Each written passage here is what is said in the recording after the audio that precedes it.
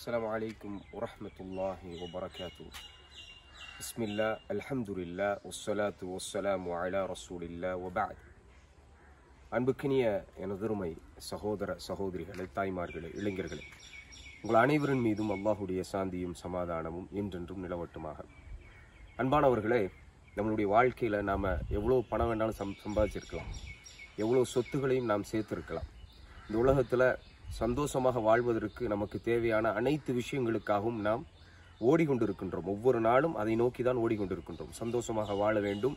நம்முடைய குடும்பம் சந்தோஷமாக வாழ வேண்டும். நம்முடைய பிள்ளைகள் சந்தோஷமாக வாழ வேண்டும் என்பதற்காக. இதையெல்லாம் நாம் இந்த உலக வாழ்க்கையில் செய்யலாம். ஆனால் இந்த உலக வாழ்க்கை என்பது தொடர்ந்து இருக்கக்கூடிய ஒரு வாழ்க்கை கிடையாது என்பதை நாம் புரிந்து கொள்ள வேண்டும். நாம் சேர்த்து வைத்திருக்கக்கூடிய சொத்துகள் எல்லாம் ஒரு நாள் நம்மை விட்டு போகும் என்பதை புரிந்து கொள்ள வேண்டும்.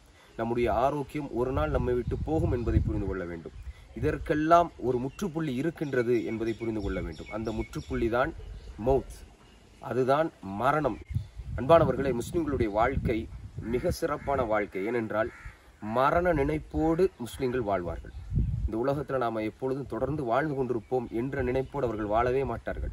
மரணம் நம்மை நீ மிக ச சமீபமாக இருக்கின்றது. எப்பொழுது வேண்டாம் நமக்கு மரணம் வரலாம் என்ற அடிப்படையில் தான் நம்முடைய வாழ்க்கை இருக்கும். அதனால தான் நபி ஸல்லல்லாஹு அலைவு வஸல்லம் அவர்கள் சொன்னார்கள் நீங்கள் கபுரை ஜியாரத் செய்யுங்கள். அதாவது மண்ணறைக்கு செல்லுங்கள் என்று சொன்னார்கள். எதற்காக நபி ஸல்லல்லாஹு அலைஹி சொன்னார்கள் மண்ணறைக்கு சென்றால் மண்ணறை நம்முடைய மரணத்தை ஞாபகம் காட்டும். இங்கே பாருங்க இந்த மண்ணறை சுஹானல்லா இந்த உலகத்தில் வாழ்ந்தவர்கள் தான். ஆனால் இன்னும் இன்றைக்கு வந்து அவங்க மண்ணறையில் இருக்கிறாங்க.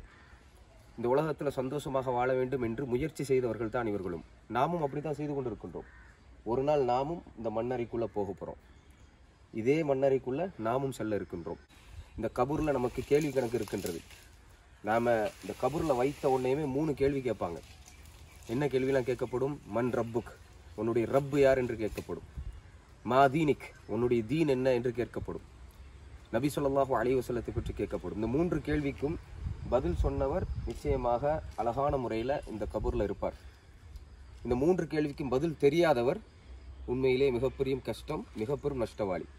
அப்போ நாம் இந்த உலகத்தில் வாழும் பொழுது நபிசுல்லாசன் சொன்னாங்க இந்த கபரை நினைத்தவாறே வாழ வேண்டும். இந்த மூன்று விஷயங்களை எப்படி நாம் பதில் சொல்ல போகின்றோம்? உங்களுடைய ரப்பு யாருன்னு கேட்டால் நாம் என்ன பதில் சொல்லுவோம்? உன்னுடைய தீன் என்னன்னு கேட்டால் நாம் என்ன பதில் சொல்லுவோம்? அல்லாஹுடைய தூதர் முகமது சல்லாஹூ அலைஹி பற்றி கேட்டால் என்ன பதில் சொல்லுவோம்? இந்த மூன்று விஷயம் ரொம்ப ரொம்ப முக்கியமானது. நபி சொல்லாஹு அலைவு செல்லம் ஒவ்வொரு நாளும் காலை பொழுது அடையும் பொழுது இந்த மாதிரியான துவாவை செய்யுங்கள். என்னது? ரதி பில்லாஹி ரப்பா. ஒபில் இஸ்லாமி தீனா. ஒபி முஹம்மதின் சொல்லல்லாஹு அலிஹி வசல்லம் நபியா. நான் அல்லாஹ் சுப்ஹானஹு சாலா அவன்தான் என்னுடைய ரப் என்பதில் நான் திருப்தி கொள்கின்றேன். அல்லாஹ் சுபஹானுவா சாலா எங்களுக்கு வழங்கிய இஸ்லாத்தில் நான் திருப்தி கொள்கின்றேன். அல்லாஹுடைய தூதர் முகமது சல்லாஹூ அலைஹி வசல்லம் என்பதில் என்னுடைய உளமாற நான் திருப்தி கொள்கின்றேன் என்பதை ஒவ்வொரு முஸ்லீமும் ஒவ்வொரு நாளும் சொ- சொல்லிக்கொண்டே இருக்க வேண்டும். காரணம் என்ன? எந்த நாள் வேண்டாலும் நமக்கு மரணம் வரலாம்.